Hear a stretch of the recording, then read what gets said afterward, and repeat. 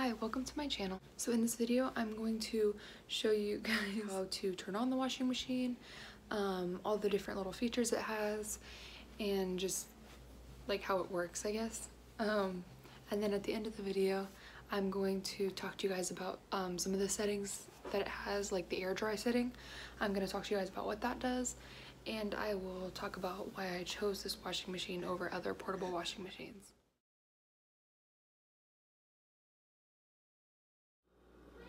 Okay, so this is the washing machine. It's the Panda Pan 56 MGW2. Um, so I guess I'll start by showing you the inside. Um, this is just the hose that goes to it. Just have it sitting in there because there's a little bit of water in it still. Um, so that's what the inside looks like. Um, this is what catches the lint. All you have to do is push down on the top a little bit and it just pops right out. Oh, I have lint in there. Um, and you just, I guess I'll show you guys. All I have to do is, sorry, hard to do one-handed, is open it up and see I have quite a bit of lint in there. Just put it back in. And then this is for the fabric softener. And then this, I actually don't know what that is. Um, it doesn't say in the little booklet that comes with the washing machine what this is. I'm assuming it's for liquid soap, but I'm not positive.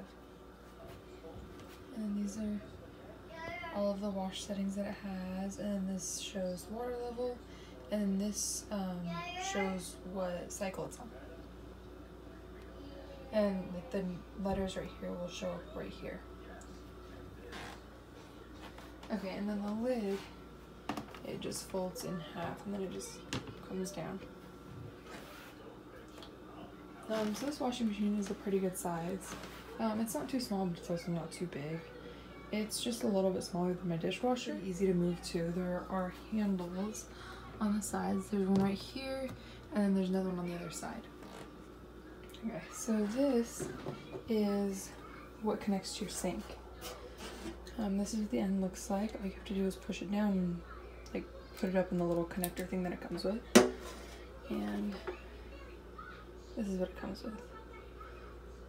Um, the one thing I recommend is looking at your sinks before you buy this because I planned on using this in my bathroom, but this part of my bathroom sink does not come off. So I can't use this washing machine in my bathroom like I wanted to. So now I can only use it in my kitchen, which sort of sucks a little bit. Okay, there we go.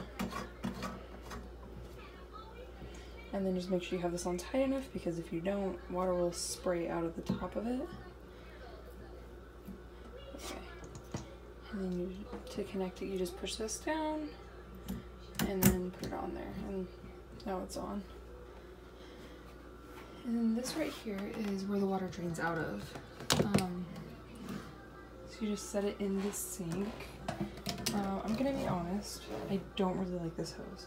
I wish it was a little bit longer, um, just because it's really hard to, uh, it's really hard to get it to stay in place. Like it's, it's like, I don't know, it's kind of awkward. But you just kind of have to like use this thing and like put it on here and usually it stays pretty well. Okay, and then the um, plug-in is just in the back. There's like a little hook thing right here for it to hang on. The plug is actually pretty long, which is nice. Um, okay, so now I'm going to show you guys how to turn it on and how it sounds when it's washing the clothes. So I have my laundry in here. Um, I have three towels, two t-shirts, and a couple of wash rags in here. And I could still fit more. I just don't like doing too big of loads just because I'm scared it's gonna end up like going over and like leaking everywhere so I don't do huge loads. Okay, so I'll show you how to turn on. You have to make sure you turn on the water first. Um, you just leave the water on the whole time because when it does the rinse cycle, it'll keep adding water and then um, draining the water and adding it. Like it does it a few times. Okay, so we do just turn it on. And then this is the water level. So there it is right here. Um, and to change the water level, you just push this button again. I am gonna, I'm gonna put it up to six. And then to choose what um, setting or what wash setting you're gonna use, you just push. Um, so to change it, you just keep pushing this. So I'm just gonna do a quick wash for these. And then to start it, you just push start.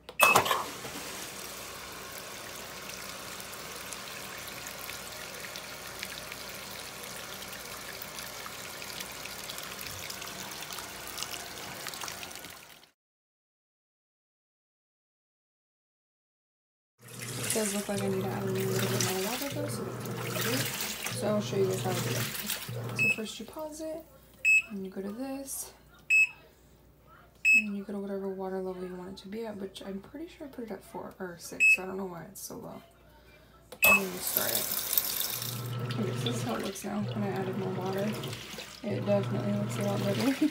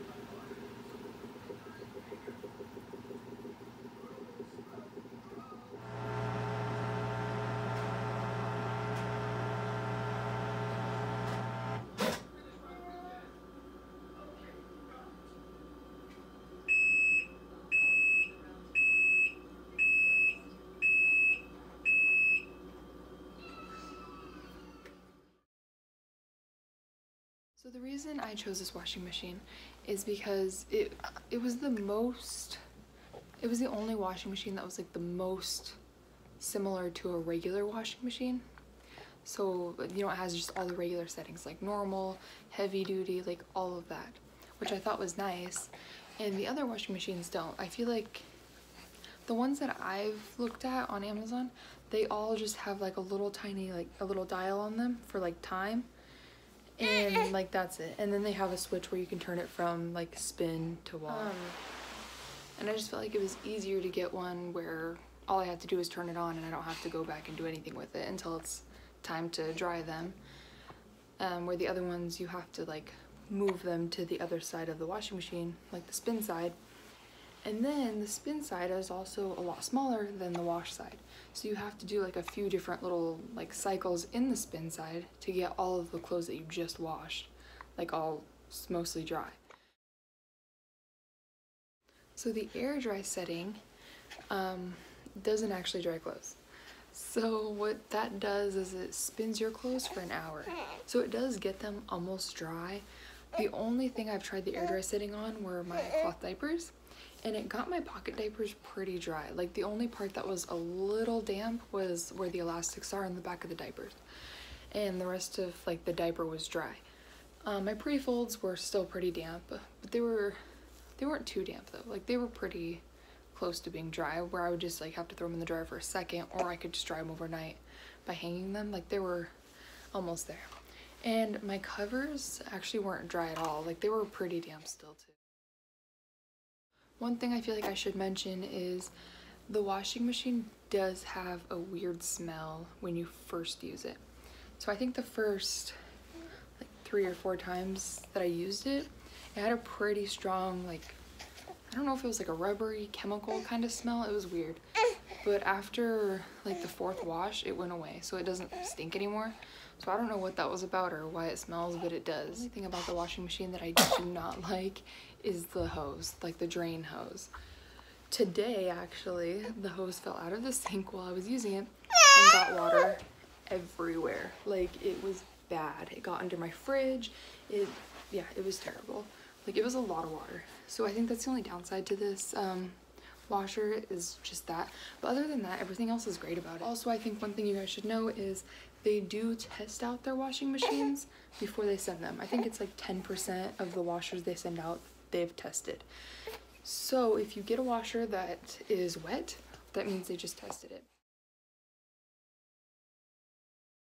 Thank you so much for watching. I hope you guys like this video.